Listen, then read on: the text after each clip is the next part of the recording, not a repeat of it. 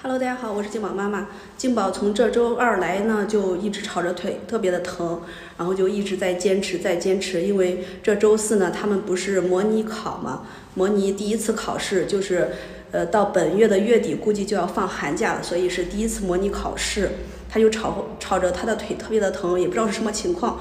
然后也听身边的有些朋朋友们说呢，是因为生长疼，我也是这样告诉他的。但是他这几天呢，这种疼痛呢一直都没有减少，所以今天下午刚好有空，我就带他去医院看一下到底是什么情况，是不是缺钙了呀，还是什么的？反正看着他挺难受的。啊，到医院了，金宝下车吧。现在感觉咋样？还疼，让你们看一下静宝是怎么走路的，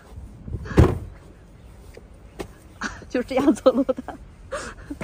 静宝这会儿是走不动了，就十来米的距离，我们已经走了差不多五六分钟了，脚太疼了。不是脚疼啊，腿疼，腿疼。挂完号了，现在在这儿排队，前面还有一个人。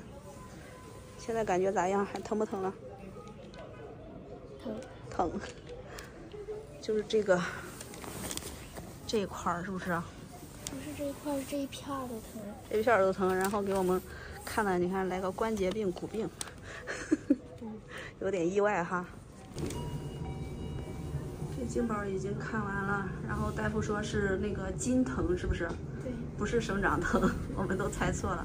然后现在去拿药去。药已经拿好了，一个吃的，然后一个贴的。来，你站这边等着，乖，妈去开车去啊。好，回去我们再把药吃了，好吧？在这等着啊。慢点啊。现在是下午的四点半，我和静宝已经回家了。看看静宝是怎么上楼梯的，一瘸一拐的，现在还疼得很不？金宝说：“你怎么老是问我同样的问题？其实妈妈问你的意思就是，比之前还疼得很，不就是这个意思，明白吧？”说不上来，说不上来，回去赶紧把药吃了，估计就好多了，知道吧？慢点啊！要不要妈妈扶你？啊？好坚强。又要拆快递了。